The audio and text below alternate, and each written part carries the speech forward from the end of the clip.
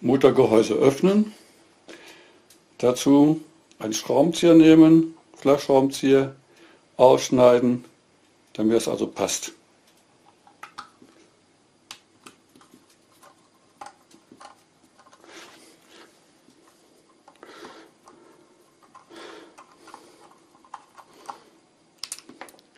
Das ist die Mutter.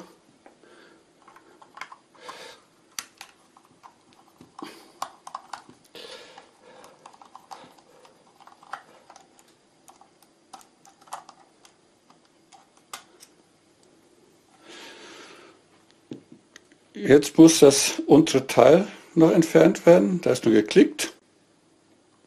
Ist nur geklickt.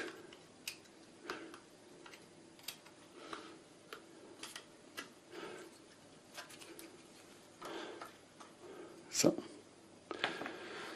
Hier ist unsere ganze Platine mit elektrischen Anschlüssen.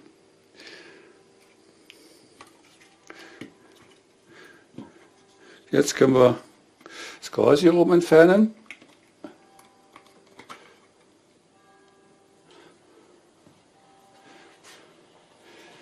Jetzt sehen wir unseren ganzen Motorblock.